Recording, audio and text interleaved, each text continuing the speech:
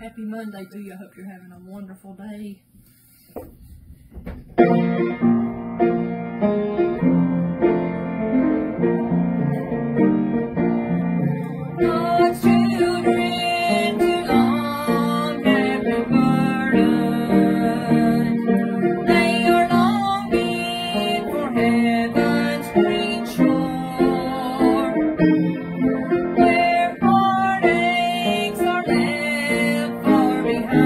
love.